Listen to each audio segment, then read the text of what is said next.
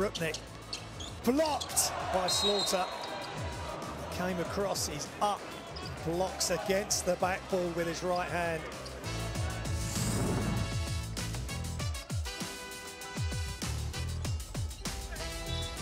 And good drive and finish by Zoltan Perl, and he will go to the line. The foul on Allison.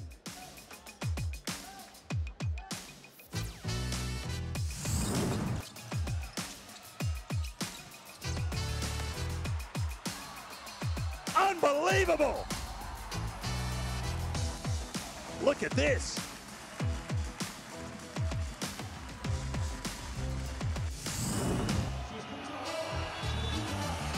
Two point eight seconds. This is what it comes down to. What is the play?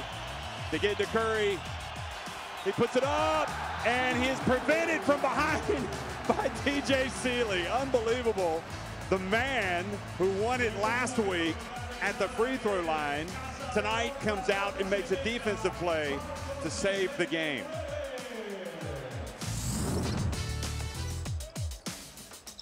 Sant-Roos. Oh, right through the middle.